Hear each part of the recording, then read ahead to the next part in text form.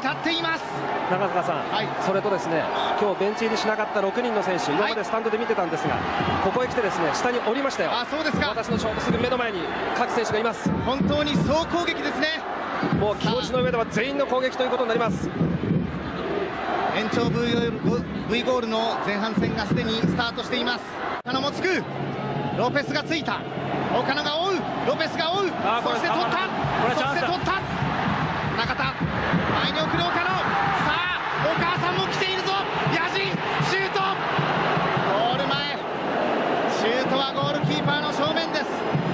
この二次予選初出場の岡野スタンドでは日の丸に野人と書いた旗を持つ母民子さんの姿もあります。前の位置を、確認しろ。マークですよ、直接狙うか？ヘッドでクリア。いいですよ、中田ドリブルで持ち込む。岡野が走る。岡野が走る。そうです、さあ抜けた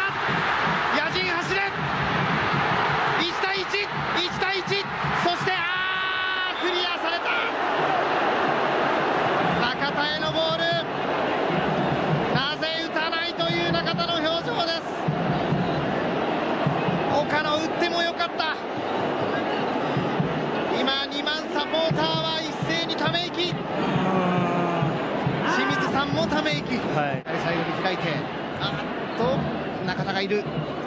名波。前に送る。中田。1対1戻したロペス。まだボールが来ている。岡野。バーの上。前半ロスタイム。岡野のシュートはバーの